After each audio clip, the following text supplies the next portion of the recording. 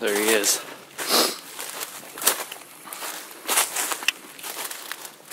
Really nice blood trail, made easy tracking. There he is.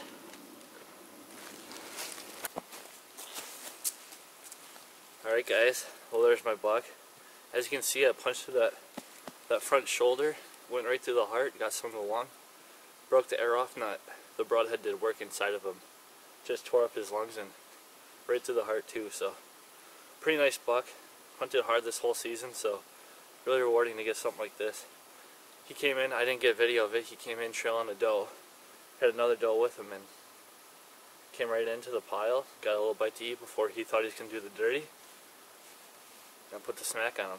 So he only went probably 50 yards and not even, I'd say probably 40. Killed over right here, so really nice buck, he'll eat good. And he looks good too, so thanks for watching, hope you guys enjoyed. Legend out.